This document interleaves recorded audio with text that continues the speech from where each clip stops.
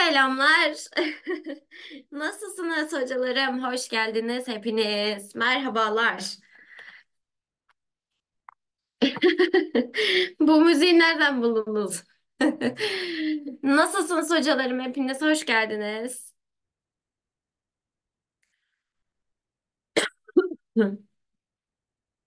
İyi misiniz? Şöyle bakayım kimler var, kimler yok. Teşekkürler, teşekkürler. Ben de iyiyim. Çok teşekkür ederim. Gayet iyiyim ben de. Nasıl gidiyor çalışmalarınız? İyi misiniz? İyi misiniz? Çalışmalar nasıl? Süper. Kolay gelsin hocalarım. Allah kolaylık versin. Hastalara da Allah şifa versin. Gerçekten e, bu süreçte çok dikkat edin hocalarım kendinize. İnanılmaz bir salgın var. Salgınla yani bu hastalıkla beraber ders çalışmak da gerçekten çok zor. O yüzden kendinize çok dikkat edin lütfen. E, şimdi ha bir de öncelikle de şunu söyleyeyim. Ee, hocalarım hepinizin de kandili mübarek olsun. Allah ettiğiniz duaları kabul etsin inşallah. Sınavlardan çok çok çok çok çok yüksek puanlar alın. İstediğiniz puanlara erişin, ulaşın. Ee, İnşallah bu sınavdan kurtulun. Amin inşallah hepimizin. İnşallah ettiğimiz dualar kabul olsun hocalarım. Çok teşekkür ederim. Çok sağ olun hocalarım. Ne kadar sürer dersen bir paragraf çözeceğiz. Aşırı uzun olmaz. Aşırı uzun olmaz. Aynen hocam. Aynen bir tane paragraf çözeceğiz. Bir tane paragraf çözeceğiz. Şimdi, şimdi herkes hazır mı? Herkes hazır mı? Hadi bakalım. Bismillah diyorum başlıyorum. Yavaş yavaş da geldiler. Bir de ders esnasında soru cevap kısmına yazarsanız belki göremem. Sohbet kısmına yazarsanız daha iyi olur. Yazdığınızı en azından kaçırmamam adına. Hadi bakalım başlayalım. Paragraf sorusu çözerken her zaman önceliğimiz nedir hocalarım? O paragrafın bir sorularını okumak. Hem paragraf hakkında bilgi almış olursun. Paragrafın neyle ilgili e, olacağına dair bir ipucu kazanmış olursun. Hem de hem de seni paragrafta okuturken, paragrafı sen okurken, sana paragrafı okurken, e, okuturken sorularda ne verdiğinin cevabını buldurabilir soruları önce okuman. Hadi bakalım şimdi bir inceleyelim sorularımızı. Pasaja göre. Bakın pasaja göre Elizabeth. Hmm, tamam. Elizabeth'le ilgili bir yer var. Oradan ne yapacağız? True false yapacağız şıklarımızda. Asla yorum yapmayacağız. Ne istediyse, ne verdiyse gidip onu işaretleyeceğiz. Ne dediyse yorum yapmadan, ekstra bir şey katmadan bana verdiği kadarıyla işaretlememi yapacağım. It can be infer, pro, infer from the passage that. It can be inferred from the passage that. Pasajdan çıkarılabilir.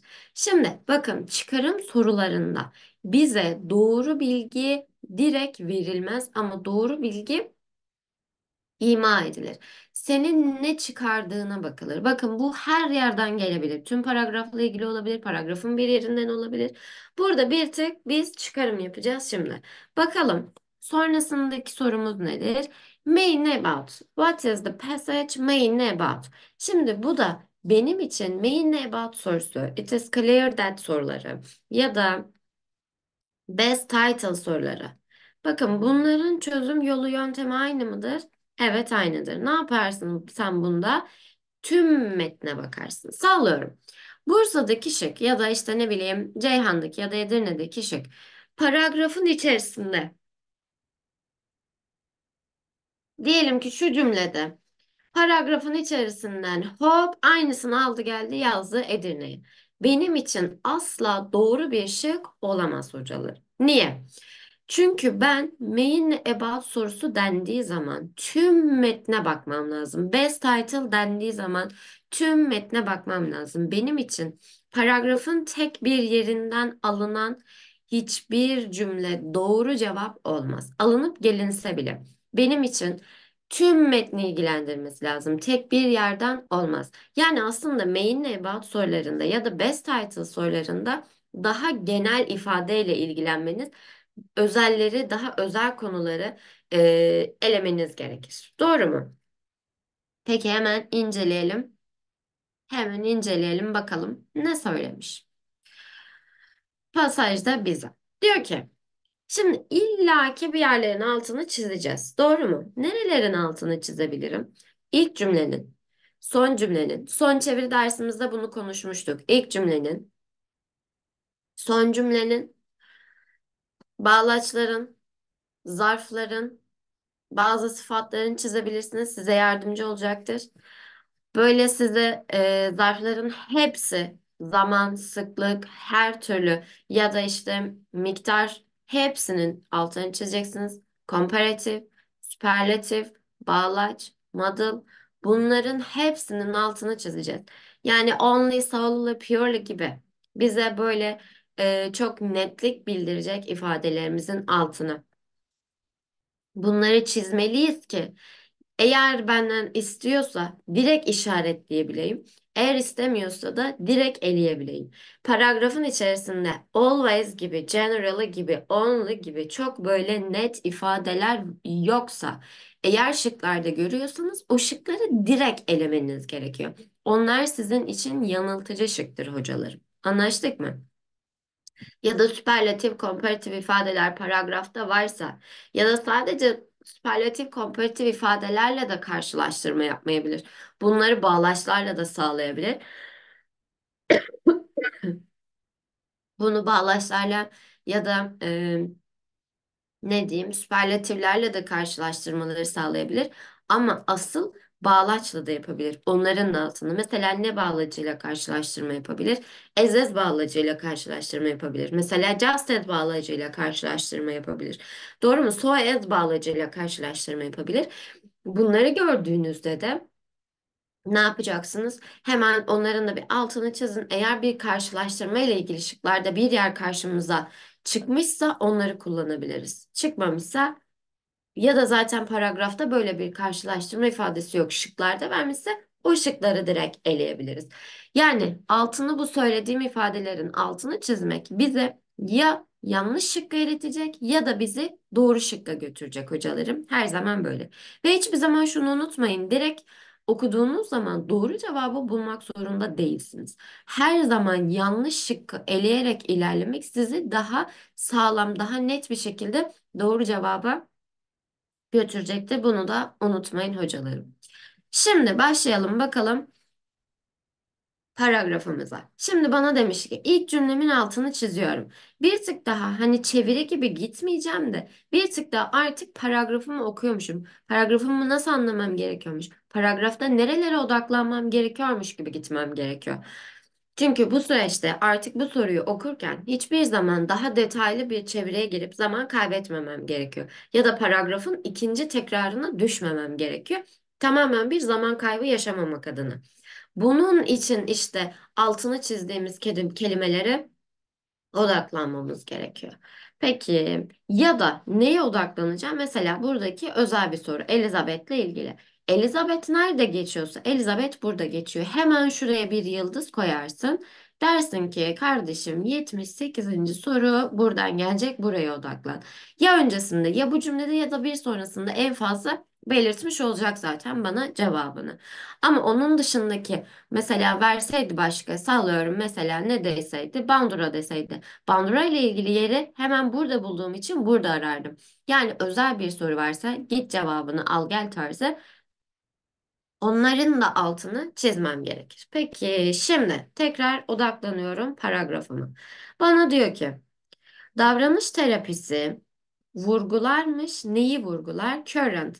Benim için mevcut durumları, koşulları vurgularmış. Nasıl durum ya da koşullar? That deyip bir relative clause yapıyorum. Bir davranışı sürdüren durumları benim için vurgularmış. Mevcut durumları vurgularmış. Sonrasında da diyor ki koşullar, davranışları ve koşulları. Nasıl koşulları? Devam edip giden, onu devam ettiren, onu devam ettiren koşul ve davranışları sürdüren mevcut durumları vurgularmış davranış teorisi. Sonrasında terapinin bu formu odaklanırmış, problem üzerine odaklanırmış. Bakın probleme odaklanıyoruz. Neye değil? Not on person. Bir kişiye değil, probleme odaklanıyoruz. Bir psikoloji profesörü Elizabeth, çiziyorum burayı. Leibniz ne yapıyormuş? Aslında bizim için Likened ne yapmış? Benzetmiş. Neyi? Davranış terapisini bir şeye like to bir şeye benzetiyor bak. Bir with pulling process. Yani bizim için bir ot çekme, ot toplama. With ot pulling çekme. Ot çekme, ot toplama sürecine benzetiyormuş. Tamam mı? Sonrasında psikanalizler attempt. Psikanaliz eee, ne diyelim burada? Psikanalistler bir girişimde bulunmuş. Ne girişimiymiş? To çekme, otu çekme, yukarı doğru çekme. Onun kökeninden böyle yukarıya doğru çekme girişiminden bulunmuşlar. So that ne olsun diye biliyorsun bunu sın diye çeviriyorsun. Bir amaç sonuç bağlacı sın diye çeviriyoruz. Sın diye. Ne olsun diye çekiyorlarmış yukarı doğru. It will never come back. Tekrar geri çıkmasın diye. Ama davranış terapistleri ne yapmışlar? Pulk. Böyle toplamışlar. Pulk toplamak demek. Otları toplamışlar. Böyle üstten toplamışlar. Ve ee, bakın psikanalistler şunları çizmemiz lazım. İki farklı özneden bahsediyorum. Psikanalizler onlar ne yapmışlar? Onun kökünden toplamışlar, kökünden çekmişler. Davranış davranış terapistleri de otları toplamışlar, böyle tap üstünden toplamışlar. Ve eğer o büyürse tekrar onu tekrar toplayacaklarmış. Şimdi ben burayı çizmemin sebebi ne hocalarım? Şu iki farklı özlem olduğu için burada bir kıyas yapabilir ya da yanlış verebilir. Psikanalistler üstten topladı, davranış terapistleri kökten topladı di- diyebilir. Ama benim için doğru bir cümle olur mu? Olmaz. İki farklı özne görüyorsanız hangisinin ne iş yaptığını hemen çizin bu şekilde. Yani ne yaptı? İkisi de otu topluyordu ama birisi kökten topladı, birisi üstten topladı. Hemen onu belirttim. Sonrasında da bana dedi ki problemin kökeni are not as important as hope ne kadar önemli değilmiş. Devam edin. Onu devam ettiren koşullar kadar önemli değildir. Bakın hemen çizdim mi? E kadar önemli değil. As bir benzetme bağlacıydı. Karşılaştırma daha doğrusu benzetme demeyeyim de karşılaştırma bağlacıydı. Devam eden, onu devam ettiren bir problem koşul kadar önemli değil dedim. Hop, tamam. Davranış terapisi dayandırılırmış, öğrenme teorilerine dayan, dayandırılırmış. Bak, üç tane insan sayıyorum. Pavlov'un Pavlov'un klasik koşullanması, Skinner'ın edinimsel koşullanması, Bandura'nın da sosyal öğrenme teorisi. Üç tane terapiden bahsedeceğiz. Bu terapilerin üçü de bunlarmış. Şimdi büyük ihtimalle bunların hepsini açarak ilerleyecek. Peki bakalım. Tüm davranışlar öğrenilirmiş. İster sağlıklı bir şekilde, ister anormal bir şekilde. Şimdi bak, burayı ben whether'ı ister ister diye çevirmemin sebebi neyden kaynaklanıyor? Virgülden kaynaklanıyor. Hocam ne alaka? Şimdi whether'ın bizim için biliyorsun iki tane çevirisi var. Whether'ın çevirilerinde sen diyorsun ki birisinde ıp, madı, birisinde diyorsun ki ister, ister. Eğer bizim için whether'da kendisinden önce, bak kendisinden önce bir fiil varsa, bir fiili varsa, sıfat varsa ya da prep varsa işte o zaman burası ıp, madı şeklinde çevrilir. Ipmadı. Ama eğer mesela virgül var, whether varsa virgül var, whether varsa ister ister diye çevirebilirsin. İster ister. Geldim tekrar devam ediyorum. Tüm davranışlar öğrenilirmiş. İster sağlıklı olsun, ister anormal olsun. Öğrenme nerede? Klasik koşullanma e, algısında öğrenme. Hop şurayı çizdim. Klasik koşullanma e, anlamında, algısında öğrenme neye atıf yaparmış? İlişkilere. Ney oluşturan? Olaylar ve eylemler arasında oluşan ilişkilere atıf yaparmış. Olaylar ve eylemler arasında. Koşulumsal şey edimsel öğrenme, edimsel koşullanma algısı da nereye atıf yaparmış?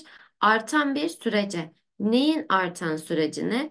Likelihood bir davranışın meydana gelme olasılığı ya da onun sonucunun onun sonucuna dayandırılmasının meydana gelmesine ya da onun sonucunun eee, onun sonucuna dayandırılan bir meydana gelmemesine ya da e, meydana gelen davranışın olasılığını artan bir e, artırılan bir süreçmiş. Buna atıf yaparmış. Sosyal öğrenme teorisi anlamında öğrenmede neye atıf yaparmış? Öğrenmeyi bir şeyleri izleyerek diğer insanları diğer insanları izleyerek öğrenmeyi. Mesela diyor ki Sigara içmek sigara içme iyi bir örneğidir. Sağlıksız bir davranışın, öğrenilen sağlıksız bir davranışın iyi bir örneğidir. Sigara reklamları ilişkilendirilirmiş. Ee, neyle? Ca- yani insanları cezbetmeyle il- ilişkilendirilirmiş ya da sigara içmeyle bir eğlenceye sahip olunacağını beni e, bana anlatırmış. Bu neymiş? Klasik bir koşullanmaymış. Sigara içme. Doğru mu? Sigara içme reklamları Klasik koşullanmaymış. Yani ne yapıyorsun? İnsanları izleyerek öğreniyorsun dedi. Sonrasında nikotin, nikat, e, nikat, nikotin de ne verilmiş? Bir haz verilmiş, bir zevk verilmiş. Tetikleyerek da ne oluyormuş? Edimsel koşullanma oluyormuş. Doğru mu? Sonrasında da gençler bazen öğrenirler mi sigara içmeyi izleyerek onların ebeveynlerini, eee, daha büyük kardeşlerini, akranlarının sigara içmesini. Bu da sosyal teori oluyor dedik.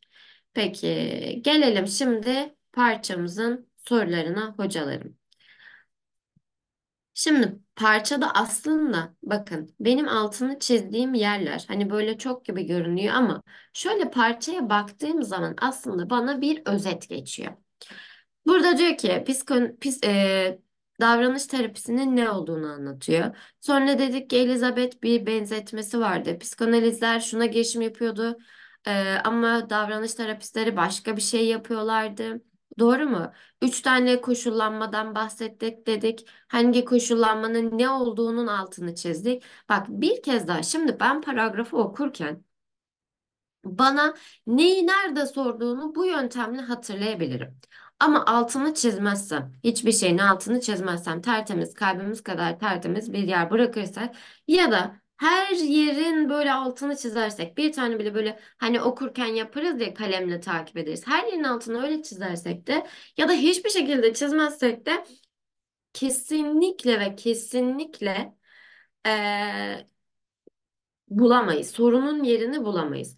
O yüzden de ne yaparsınız? Devamlı bir kez daha okumak zorunda kalırsınız. İşte bu yöntemle aslında bize paragrafı özetlemiş oluyor. Ne aradığımızı bulabiliyoruz.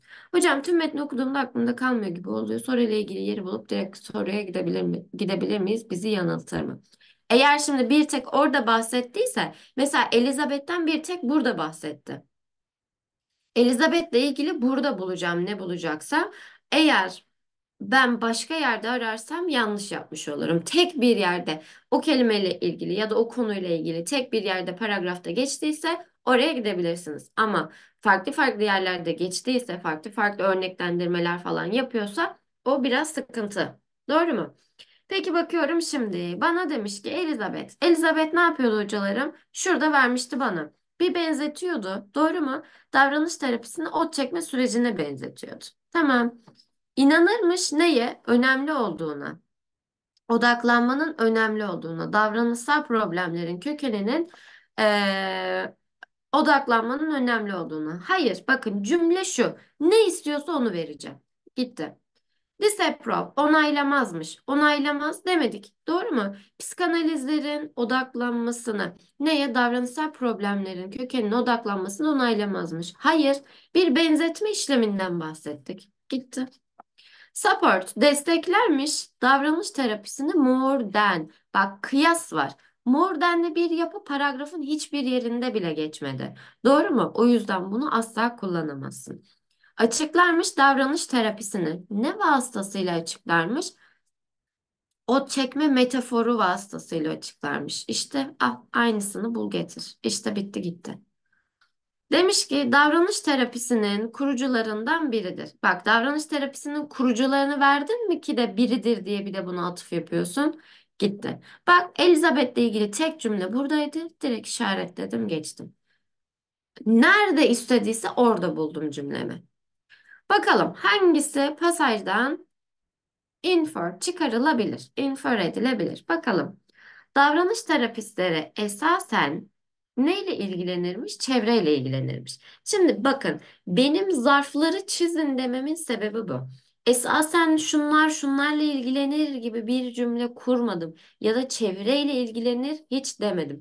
Böyle bir zarf esasen hani esas olarak bununla ilgilenir demedim. Psikoanalistler daha başarılıdır. Bak böyle bir komparatif yapmadım. Psikanalistlerle davranış terapistçi, de- davranış terapistlerini karşılaştırmadım. Doğru mu? Sadece onlar şununla ilgilenir, bunlar bunlarla ilgilenir dedim ama hangisinin daha başarılı olduğuna dair bir komparatif yapı yapmadım. Bak geçseydi bu komparatif yapı çizerdim. Bak primarily bunu çizmedim. More successful bunu çizmedim. Bunları çizmediğim için de bak direkt elemiş oldum. Gördünüz mü? Davranış terapileri denerlermiş to solve çözmeyi. Neyi de, e, aman bunun devamı yok hocalarım şu anda. Bunların dev- cümlenin devamı yok. Ee, tamam bu bir dursun. Bir dursun. Belki cevap bu değildir. Şunlara bakalım. Davranış terapistleri, bakın davranış terapistleri çözmede başarısız olmuşlar. Şimdi bakın cümlede herhangi bir şekilde bir olumsuzluk yoktu. Davranış terapistleriyle ilgili. Doğru mu? Bir şeyi başaramadılar, çözemediler, yapamadılar gibi. Değil mi? Bu da gitti. Psikoanalistler denemişler çözmeyi, problemi. Ne yaparak? Analiz ederek, genetik geçmişe bakarak. Hiç genetik geçmiş insanların, hastaların genetik geçmişi, DNA'sı ne bileyim hiç böyle bir şey de geçmedi. Bunu da elersiniz. O zaman cevabımız burada büyük ihtimalle hani bir e, problemin kökenini e, problemin kökeniyle ilgilenmeyi gerektirmeden onu çözmeyi deniyorlar diyecekti. Büyük ihtimalle öyle devam edecekti. Ee, davranış terapistçileri ne yapıyorlardı? Hemen zaten şurada da var. Böyle üstten ilgileniyorlardı. Bak bir metaforla anlatmış. Kökenine inmeden diyecekti büyük ihtimalle. Kökenine inmeden ne yapacaklar? Hemen şunları şöyle bir eşleştireyim aslında. Şunun devamını ben bir yazayım hocalarım. Necessity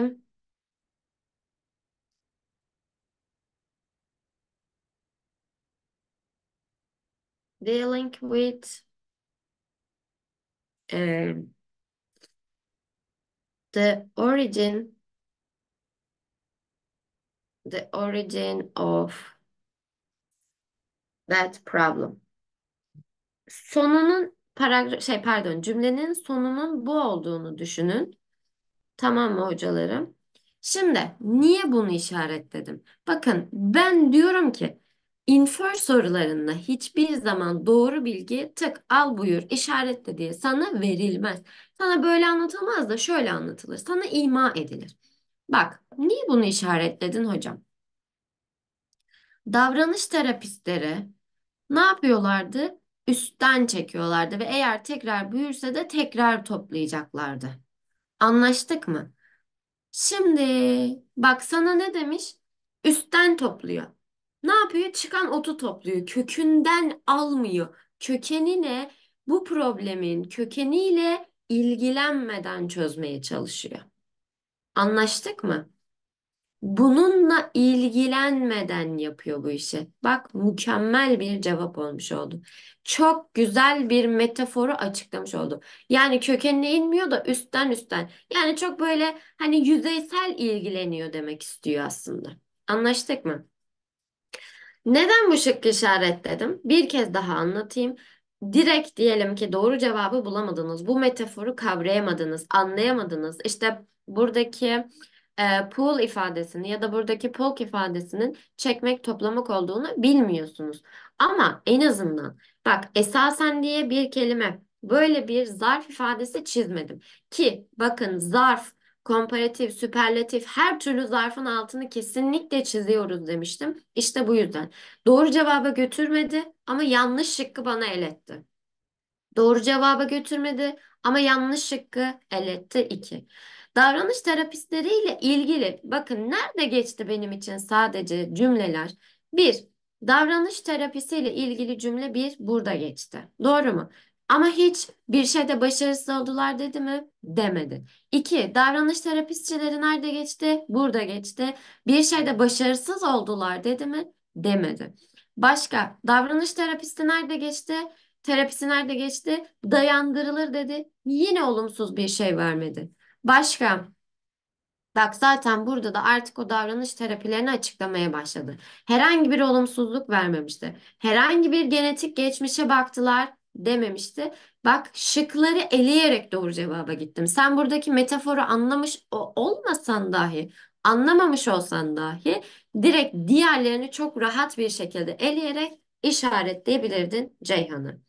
Sonrasında main ne about? Bakın paragraf neyle ilgili? Best title. Asla ve asla ne yapmayacağım? Genel şey pardon özel ifadelere dalmayacağım.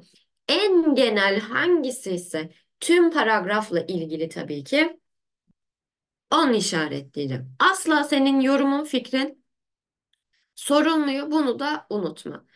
How learning. Nasıl öğreneceği, e, öğrenmenin nasıl tanımlandığı, davranış terapisi tarafından nasıl tanımlandığı. Şimdi üç tane edinimsel bir e, şey, üç tane koşullanmadan bahsettim. Acaba bu olabilir mi? Bu bir dursun. At bakalım. Psikolojideki da, e, psikolojideki davranışın özellikleri. Psikolojideki davranışın özellikleri. Hani psikoloji sadece psikanalistler diye bir kere geçti. Doğru mu? Bununla ilgili bir şey söyleyebilir misin? Hayır. Davranış e, koşullanması modelleri arasındaki farklılıklar.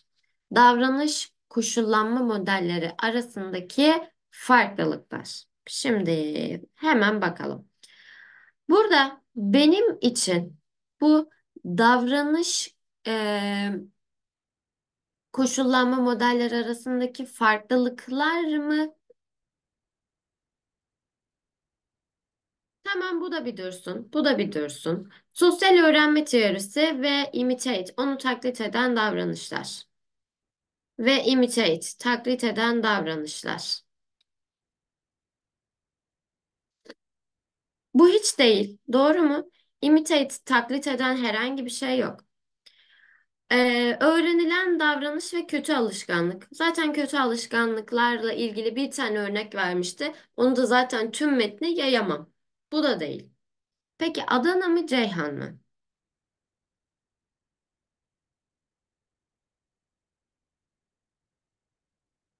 Adana mı Ceyhan mı? Çok ince bir çizgi var hocalarım.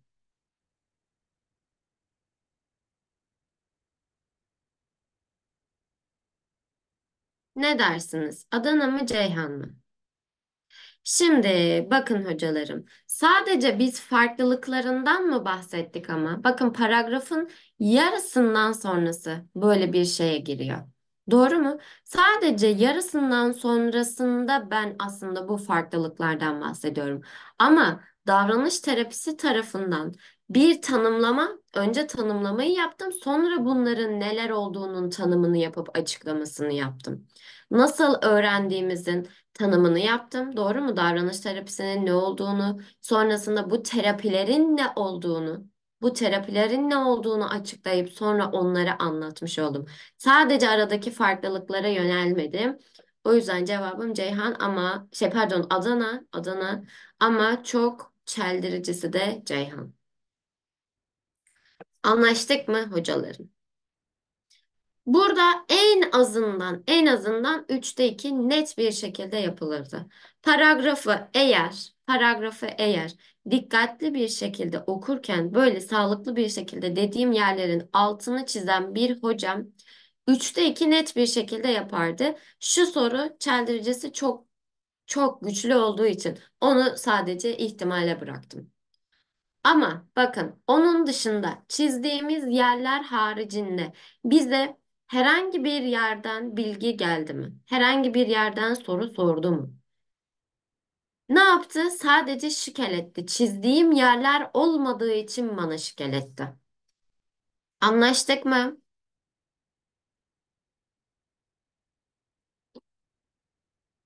Anladınız mı hocalarım? Süper. Harika. Eğer paragraflarınızı gerçekten bu yöntemle bu şekilde çözerseniz eee, çok rahat edersiniz. Gerçekten söylüyorum en az üçte 2 net bir şekilde yaparsınız. Hocam genelde farklılıklardan bahsetmedi mi? Hayır aslında ne yaptı? Farklılıklar deseydi. Yani sallıyorum işte şu şu. Sadece farklılığın farklılığın ne olduğunu da vermedi. Sadece bunların tanımını yaptı aslında. Onların nasıl olduğunu açıkladı aslında. Hatta açıklarken de bunu örnek yaptı. Anlaştık mı? Rica ederim. Rica ederim hocalarım ne güzel. Faydalı olduysa ne mutlu bana. Ne mutlu bana.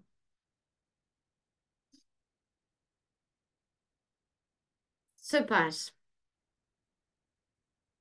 Tabii çözeriz Fulya hocam. Ne demek? Rica ederim hocalarım. Biliyorsunuz yarın saat 1'de de Bağlaç soru çözümümüz olacak.